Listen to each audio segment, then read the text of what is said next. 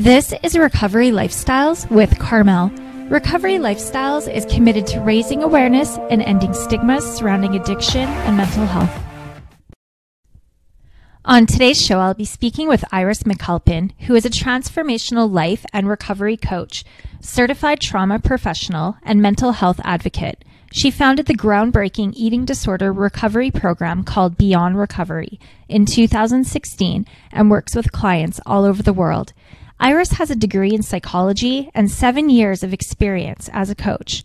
Her passion for mental health and commitment to eradicating stigma associated with mental illness are at the core of everything she does. So, hi, Iris. Thank you so much for being here today.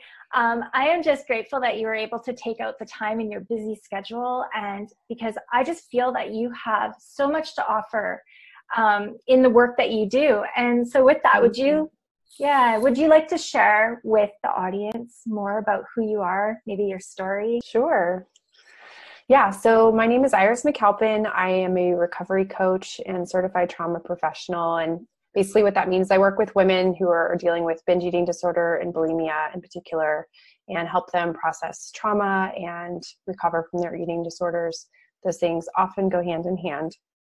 And I've been doing that for about seven years. And I have a program called Beyond Recovery, which is a group program for women in recovery that allows people to come together and share their experiences and also get really concrete tools and practices that help them move through recovery.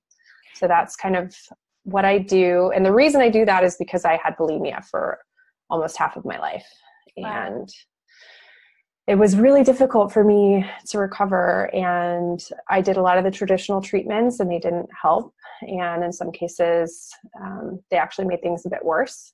And so i became very determined to scour the academic and spiritual literature that was out there and you know try all these different tools and techniques on myself. I went to every type of healer and counselor you can think of and amassed an arsenal of tools to really help me get better. And so now I teach people how to do that so that they don't have to go through the same ridiculously long trial and error process that I went through.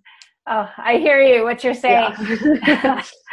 so when you talk about having that the trauma and the bulimia going hand in hand or the eating disorder and the trauma, is mm-hmm. that something um, that you see a lot and is that directed to maybe somebody had a childhood trauma or and that almost always. Yeah. Um, i mean i think human beings have some trauma or another in their lives or if not like one really specific event prolonged stress which our nervous system actually sort of operates the same way. If you have one really traumatic event or prolonged stress it kind of destabilizes you in the same way. And so having you know a lot of training and background on that definitely helps me help women that are dealing with eating disorders because those things typically co-occur. They right. don't always but um, i would say nine out of ten times there's something like that going on. Yeah that's really that's really fascinating because i don't think people put that two and two together right? If you don't have a lot of information on it. And i know that you know everybody today like literally everybody today is is dealing with some sort of eating type of disorder whether they recognize it or not. Um, yeah. did you want to speak more to that? Yeah it's really true. I mean diet culture or just like the massive industry that is behind diet and weight loss products has really taught us to think that you know we have to look a certain way to be accepted. And as social creatures for women in particular you know social validation is a really huge part of how we you know assess our self-worth. And so if we don't feel like we fit this norm then we feel it's it's not just about vanity. We feel this almost like existential threat that you know if i don't look a certain way i'm not going to be accepted. If i'm not accepted i can't survive. And so um, that's something that is a really real thing that a lot of women are struggling with. And, you know, I read a statistic recently that over 90% of women are dissatisfied with their bodies and most females these days are starting diets by the age of eight years old. Oh, wow. which is really heartbreaking. Yeah. Um, and and diets themselves kind of create eating disorders, and so we're sort of dealing with this epidemic. And if not just you know an eating disorder, then disordered eating. And so it's definitely something that um, is becoming, I think, more common rather than less common. Yeah, and I think that makes you know you're talking about the statistic, and that makes a lot of sense to me because you know by age eight you're on social media, you're you're on Instagram, looking at everybody's fabulous lives, right? Everybody's living Yeah. this fabulous life, and everybody looks perfect, and that is a very dangerous place and space to be in. So. yeah. Are you familiar with Jonathan Hyatt's work? I, b- I hope I'm pronouncing his last name properly, but he talks a lot about the impact of social media on young people and the the amount of like depression and self harm in girls in particular has gone up exponentially since the advent of Facebook. And we can't prove causation, but what else would be causing it? Oh, for sure. I mean, I find myself, I get caught in doing it. Oh, Like, yeah. I definitely, if I'm having, you know, a hard day or just wanting to even check out, because I find that heading over to social media to, is a very easy way to check out, right? You don't have to think and you Yeah. scroll. But what I find, and I and I'm getting, I know for myself, I'm getting better at catching it. But I'll be like, oh wow, you know, look how thin she is. Oh, look how big mm-hmm. her eyes are. Look how big her lips are. Look how small her waist is. Right? Like, Right. what an awful, you know. I, yeah totally and it happened yeah i mean it happens for so many things people compare body size they compare success levels or like how much fun somebody's having but the comparison game is is hard to avoid when you're looking at other people's lives from the sort of voyeuristic standpoint and Mhm. so it's not surprising that this is causing a lot of problems and i mean on the flip side of that the positive aspect of social media is that at least you know i feel like it's hard to say how i would have done with it because i probably would have followed some accounts that would not have been very helpful for me. But there's so much discussion now of these you know mental health issues that were not being discussed anywhere that i was aware of when i was dealing with depression and bulimia. And so yeah it's hard to say. I think it would have been very healthy for me to see oh my gosh you know i'm not the only one struggling. Mhm. but it's also hard to escape the comparison aspect so Yeah, I I I hear what you are saying and I feel the same way a lot. I mean, 16 years ago when I was first recovering from drugs and alcohol and you know, and then which progressed for myself as well into depression, bulimia, um, high anxiety, all of that. I feel grateful that that was not there because I don't know if I would have made it to this other side. I mean, I'm really not sure. yeah So- i i wonder that myself.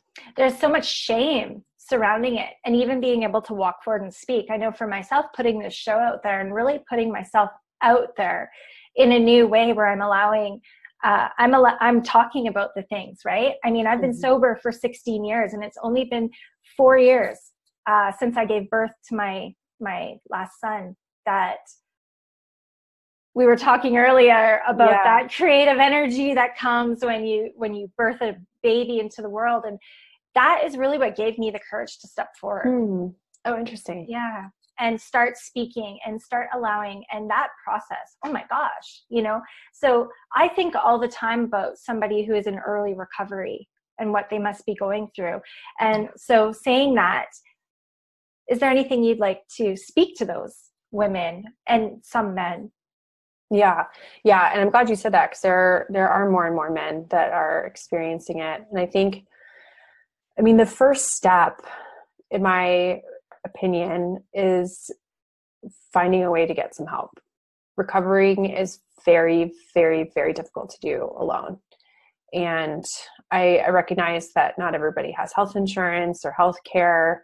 Um, or the financial means to see a professional. There are you know 12 step programs for eating disorders that are completely free they have online programs um, there are quite a few online support groups if you go to neda.org neda.org there are a lot of free resources available but i just I feel strongly that if you're trying to like strong arm it and recover completely alone, mm-hmm. it's you're making it more difficult than it needs to be. And that is one benefit of technology. If you are really having a hard time, you know, outing yourself for lack of better terms that you're struggling with this and you don't have people in your life that you trust, then finding some online resources where you can be a little more anonymous can be a good first step. If you do have people in your life that you do trust, whether it's you know a teacher or a former teacher or a boss or a mentor or an aunt or an uncle or you know anyone. It doesn't have to be any one particular type of person but just some responsible adult even if you're an adult um, that you feel like you can let in your world a little bit. It makes that shame start to come down. Yeah. The more we hide it's like that saying that they t- say a lot in 12 step. It's like we're only as sick as our secrets and so the, the more we keep things to ourselves the more that shame has an opportunity to grow and get stronger because it tells us things like nobody will love you if they knew. Nobody will accept you. You're not good enough to be you know seen and you're not good enough to be supported. And so if you start talking to people and you start getting that support, that little voice that's telling you that gets some of its credibility questioned, you know? Yeah, and it does get easier the more and more. I think back um, to even the beginning of my journey, and I'm sure you can relate to this as well. That you know, the first time you even wrote a blog out about something like this, or you mm-hmm. spoke out, or your first podcast, right? That you spoke out. They the the voices that like to over that like to you know um, take over sometimes every time you do it it just gets easier and easier Absolutely. and that's and that's where the power is yeah it is i mean it, it is pretty incredible to think about because now i talk about this stuff all the time and i don't even think about it yeah. but when i first started my instagram account where i started talking and sharing openly about the fact that i had dealt with bulimia i was absolutely terrified and when I found out that people that I actually knew in real life were following me on Instagram and like seeing that I was talking about this, I freaked out. Like it was so scary for me. But I also knew that nothing was going to change if I didn't start owning my story and people were going to continue to feel completely alone. And this was, I, I can't even remember, like five years ago now. Um, and now everybody's talking about it and that's great like I, I, want people to be talking about this because it is really difficult when you feel like you're completely alone and you're the only one in the world and i definitely felt that way. And it just made me feel like i was a freak and like completely unlovable and unfixable. And yeah. so, yeah. I know and the other side of that is it gets comfy being there. It was. yeah, it was in a sort of twisted way. Um, I mean, it was incredibly uncomfortable and it was incredibly comfortable simultaneously, which is kind of um, the strange thing about it. But yeah, it was. It was easier in some ways to hide than it was to let the mask down. Mm-hmm. So, somebody in your position who is an eating disorder recovery coach and a trauma professional, um, and you have that uh, standard, is this something that you still struggle with? Is this something that you still every day have to do your part? Yeah. Yeah. Great question. I mean,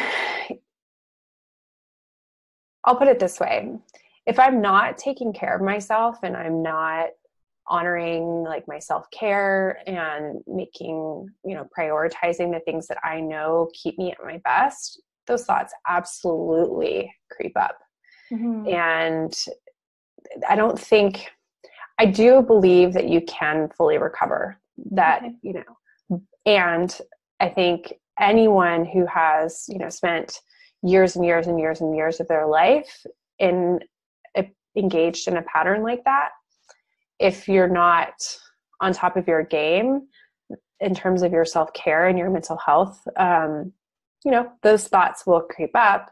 The difference between now and you know 10 years ago for me is that when i notice those thoughts creeping up i immediately reach out and ask for help and tell everybody in my community, anybody who will listen, that, you know, I'm not having a good I'm not having an easy time right now and these thoughts are creeping up and that that's concerning to me. And so I don't try to bear the burden alone and that makes it so much easier to work through. Whereas before I would have just kept it to myself and tried to, you know, muscle through it or like strong arm myself through it. And that usually didn't work out very well. And yeah. I would have, you know, I had a lot of relapses on the road to recovery. For sure. I think we all do. Um, and I just honor you for being that way. I think that's what attracted me to you is I could feel that you were very authentic and mm. that you weren't going to sugarcoat it because right. we're in this kind of new age where everybody seems to be a coach. And yeah. They to, yeah. They seem to have these fabulous lives going on, but yet behind the computer and what's really going on isn't so. And so I really, I just appreciate you. And that was part of me being so excited that you were going to be here today because uh, I was having a little bit of a, I don't know, little celebrity moment. I was like, uh, yeah, I mean, I'll be the first to tell you recovery is not all roses and that feeling your feelings can be really intense and difficult, especially at first when you're used to numbing out with these other behaviors. And it takes time to learn how to ride these waves of emotion. We all, I think, all human beings have an incredibly wide range of emotions. Some of us seem to experience them a little more deeply than others. I'm extremely sensitive, very emotional. And so it's, you know, and I had a pretty significant amount of trauma. And so when you put all those things together, um, it's really no wonder that I went to bulimia and alcohol for relief to try to just like manage my ridiculous anxiety and the depression that I was feeling and all of that. And it, it on some level it kind of worked and it was also like very dangerous and damaging and I still have, you know, physical effects from throwing up so much that impact me to this day. And yeah. so, you know, I, I have a lot of compassion for myself and realize that I was really struggling and that was something that kind of helped me limp along on some level, but there are much healthier ways to go about it. And so that's, you know, a lot of recovery is figuring out what are the healthy things that I can do that may not give you that quick fix, mm-hmm. but that in the long run will allow you to experience your emotions and process them in a healthy way and not keep running away from them. Yeah. So, for somebody who's listening that may not understand how to have compassion and compassion for themselves. I mean, that's so huge. I know yeah. even in my own recovery, that was the turning point when I started to really have compassion and be easy on myself. Um, because as you, I was extremely sensitive. And I remember growing mm. up being told all the time, you're too sensitive, you know, stop crying. You're always crying, right? And it was like, I'm feeling everybody around me. yes. So, how does somebody, and I believe as well that we attract our like. So, a lot of I know the women who listen in on this show um, have the same experience. Where do they start? Well, one thing that can be really helpful. I mean, there's there are a million different answers to that question because there's no right answer for where you start. You you start somewhere. Yeah. Um, but I think one thing that can be really helpful, especially for sensitive people that have a lot of compassion for others, but have difficulty turning that around and bringing it to themselves, something that can be very, very therapeutic. And I'm a huge fan of journaling, um, is to write to yourself, you know, just sort of, you can, sometimes it can help to write out, like, okay, these are the things that I'm dealing with, or these are the things that I've been through and if you sort of ask yourself, okay, like if another woman came to me and told me that all this was going on in her life and these were all of the things that she's experienced and survived and had to deal with, yeah. How would you respond to her? What would you how would you feel about her? And start to write about that. That can be incredibly helpful because you know we all have the ability, or I'd say like most of us have the ability to look through the lens of compassion as we talk to other people, but we have a very difficult time turning that towards ourselves and sort of externalizing like that and like writing the things down and then writing to yourself, okay, this is what this is how I would respond to another woman in the same situation can kind of make you say, whoa, okay, maybe I am deserving of compassion. Maybe this is really hard. Maybe, you know, I am being hard on myself. And that can be a place to start. And yeah, yeah so that's yeah, sort of what comes to mind what I hear you saying as well is um, that can really be powerful in changing the that tape that you play in your head, those voices, right? By actually yes. sitting down and looking at them, because a lot of times we don't even realize what we're saying to ourselves. Oh yeah, we, we don't. and I, you know, I think I posted this one time, but it's like if you talk to somebody else the way you talk to yourself, they would want to smack you. and it's true, you know, we aren't nearly as diplomatic and kind when we're talking to ourselves. And so bringing awareness to that can be really illuminating as well. And, but I think, you know, especially in the beginning when we're so accustomed to, you know, helping others or caring for others or having compassion for others, we start to just ask those questions. Okay, you know, what would I do? You know, if I had a child that was struggling, how would I talk to them? Okay, say those exact same things to yourself. If you had a friend who was going through a difficult situation, what would you recommend that she do? Would you recommend that she, you know, drink a bottle of wine and eat a pint of ice cream? Or would you like take her outside and like go for a walk? You know, okay, then maybe you should take yourself outside and go for a walk. You know, it helps to conceptualize these things externally and then turn them back around and apply them to our own lives. Hmm. So, is there anything, um, we're going to start to wrap it up a little bit. Is there okay. anything that's on your heart that you'd really would like to share today? Mm. Well, I'll just share the thing that I really feel saved my life, and that is to stay curious and mm. To keep exploring new avenues, keep exploring yourself. And again, I'm a huge fan of journaling, like writing out your feelings can be incredibly cathartic and healing. And you know, if if you've read five books on recovery and they didn't really help you, read five more or start to explore, you know, trauma, start to look into you know, spirituality, whatever calls to you, you know, go in the direction that you feel called, but don't stop trying new things. Keep learning as much as you can and eventually you absolutely will find tools and modalities that speak to you and that allow you to move forward. Mm.